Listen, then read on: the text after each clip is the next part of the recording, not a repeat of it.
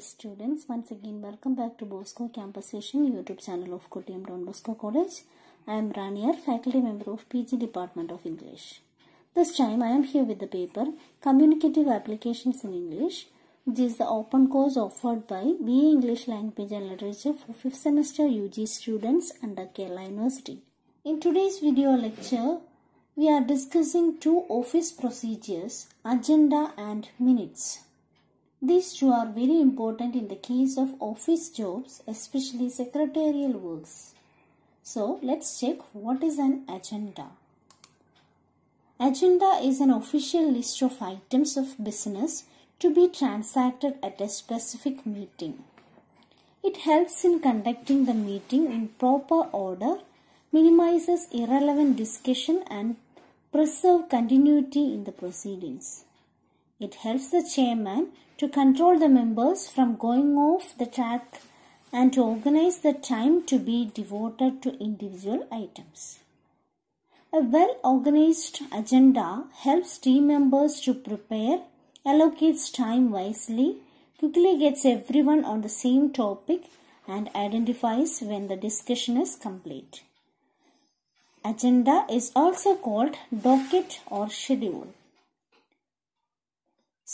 So, one thing you have to do when you prepare an agenda, seek agenda items from the members of the meeting.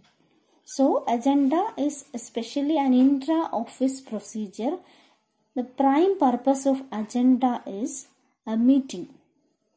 It is the official list of items of business to be transacted at a specific meeting.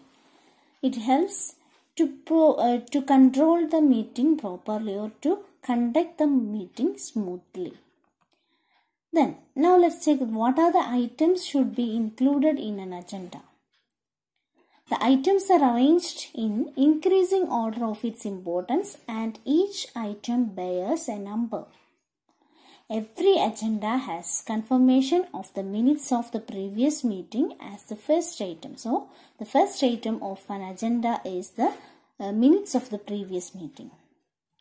If there any matter left over from the preceding meeting or inquiry and report, it appears as the second item. So, what is the second item of an agenda? So, if any matter left over from the preceding meeting or inquiry and report, this should be appears as the second item. The most important thing is appears as the second item. Any other matter with the permission of the chairman is appears as the last item. So, uh, the last thing which, which we should which should include in an agenda is the other matter with the permission of the chairman. So, before finalizing the items, get the approval of the chairman. So, it is the chairman is the last word of conducting a meeting. So that is why seek permission from the chairman also. Then now let's check what are the items should be included in an agenda. Usually an agenda appears along with a notice for circulation. It must carry the following detail. The first one is name of the organization. So when you prepare an agenda, so what is the need of what, what is the purpose of agenda? For uh, to organize it is a listed items in order to conduct time meeting very smoothly. So, an agenda appears along with a notice for circulation. So, before the meeting, it is usual that a, a, a meeting a notice is circulating among the uh, among the members. So, along with that meeting, agenda appears. So, agenda must have name of the organization, date of the circulation of that notice, then day, date, time and venue of the meeting must be included in the agenda. Then the signature of the secretary. Then in addition to all this, we can include or we can uh, we can use certain sources like minutes of the previous meeting, then suggestions received from members, then actions, events, uh, if there is any since the previous meeting. Then correspondence on the subject. So here I am giving a sample agenda uh, in this video lecture. Please go through it.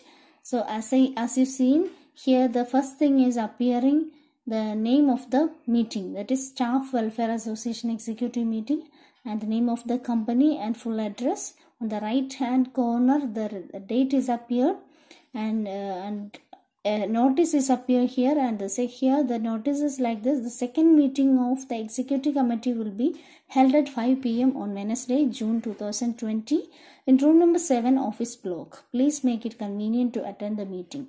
And the agenda is given below. So agenda appears along with the notice. So the agenda it is arranged in such a manner that the first thing is minutes of the previous meeting. So always agenda appears. The first item of agenda is minutes of the previous meeting. Second thing directors report and annual accounts. Third one is auditors report. Fourth one is declaration of dividend uh, then fifth one is celebration of Onam and the last one is any other matter with the per, uh, permission of the chairman. So the first item of agenda is the minutes of the previous meeting and the last item is uh, any other matter with the permission of the chairman and on the right hand corner a signature is needed of the uh, signature should be given by the secretary. So this is the format of preparing an agenda. Okay dear students, I hope you understood how to prepare an agenda. So I am concluding for today. Let's discuss the rest of the session that means minutes in our next class. Thank you for listening. Do the homework and send me.